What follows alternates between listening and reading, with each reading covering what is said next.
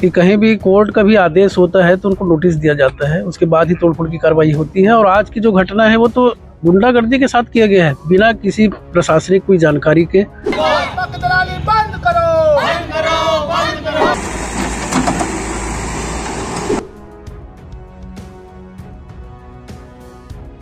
मेरे मकान का बाउंड्री वाल 140 फुट लंबा 10 फुट ऊँचा दो जेसीबी लेकर के उन्होंने 15 मिनट के अंदर पूरा ढहा दिया।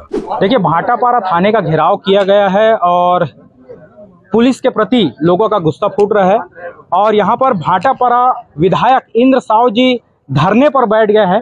आइए जानते हैं किस तरह का मामला है और क्यों धरने पर बैठे हुए हैं और जो धरना चल रहा है उसका कारण क्या है? इंद्र साव जी हमारे साथ है। सर बताएँगे कि आखिर धरना पर क्यों बैठना पड़ गया आपको? देखिए आज ये सायंग साढ़े चार पाँच बजे की घटना है। हमारे कांग्रेस के वरिष्ठ नेता भी हैं और सिंधी एकेडमी के पूर्व सदस्य भी रहे और इनके, इनकी आवास में जो तोड़फोड़ की गई है आज, ये बहुत ही दुर्भाग्यपूर्ण घटना है क्योंकि यह जनरली देखा गया है कि कहीं भी कोर्ट का भी आदेश होता है तो उनको नोटिस दिया जाता है, उसके बाद ही तोड़फोड़ की कार्रवाई होती है और आज की जो घटना है वो तो गुंडागर्दी के साथ किया गया है, बिना किसी प्रशासनिक कोई जानकारी के। जेसीबी में ले जाके आठ दस गुंडों के माध्यम से तोड़फोड़ की घटना जो है ये दो बिल्कुल मैंने ऐसे गुंडागर्दी का ही एक रूप है कहा जाए जो भाटापारा के इतिहास की पहली घटना है।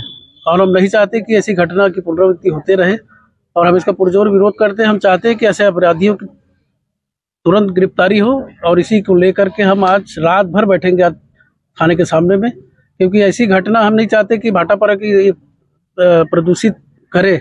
शांतिपूर्ण जो माहौल है हमारे भाटापारा की उसको ऐसे बर्बाद नहीं होने देना है हमको और हम इसी को लेके हम पूरे कांग्रेस के लोग आज बैठे हैं। देखिए भाटापारा कांग्रेसी विधायक इंद्र साव जी यहाँ पर धरना पर बैठ गए हैं और अपने सपोर्टर के लिए धरना में बैठे हैं। जमी ज़मीन विवाद का मामला समझ में आ रहा है इनकी बातों से। अ, जानते हैं कि ज़मीन विवाद में किस तरह से विवाद है। शायद ज़मीन विवाद का आपका मामला है। किस तरह का विवाद है और क्या हुआ था ऐसी घटना? मैंने ये ज़मीन दिसंबर 22 में राकेश मंदान की माताजी सुलोचना मंधान से खरीदी है और उस पर दो महीने के अंदर प्रमाणीकरण होने के बाद में मैंने जनवरी फरवरी में उस पर बाउंड्री वाल बनाया है। और बाउंड्री वाल बनने के आज 16 महीने के बाद में उन्होंने अपने कुछ गलत दोस्तों के साथ दो जेसीबी लेकर के और आकर के मेरी बाउंड्री वाल को तोड़ दिया। उसके पहले वो मुझसे जो ज़मीन उनको मैंने बेची थी उसके बारे में वो बात करने आए थे कि उसका कुछ प्रॉब्लम है तो वो प्रॉब्लम कुछ भी नहीं था सिर्फ़ वो एक आड़ ले रहे थे कि भाई मेरे को ज़मीन बदल दो करके। वो ज़मीन जो मैंने बेची है वो उतनी अच्छी नहीं है और मेरे को और अच्छी ज़मीन कहीं और दे दो करके। आज आज जो विवाद हुआ ये विवाद पुलिस थाने तक कैसे ही पुलिस से क्या चाहते हैं तो वो आज अपने गुंडे दोस्तों के साथ में आकर के मेरे मकान का बाउंड्री वाल 140 फुट लंबा 10 फुट ऊँचा दो जेसीबी लेकर के उन्होंने 15 मिनट के अंदर पूरा ढहा दिया। बगैर किसी कारण के।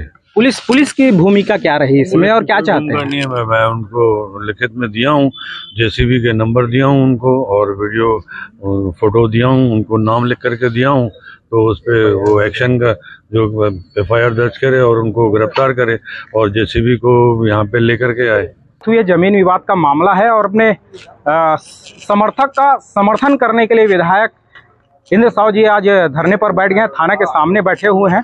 अब मामला कहाँ तक जाता है और एफआईआर कराने की मंशा है कि एफआईआर हो और उसमें कार्रवाई हो इस मंशा को लेकर यहाँ पर धरना में बैठे हैं।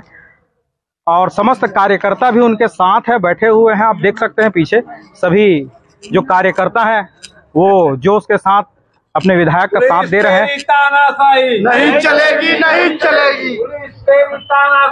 अब देखना यह है कि कार्यवाही किस तरह से होती है और आगे कितने समय तक यह धरना प्रदर्शन चलता है और क्या निर्णय होता है। कैमरामैन बजरंग के साथ Komal Sharma IBC twenty four Bhatapara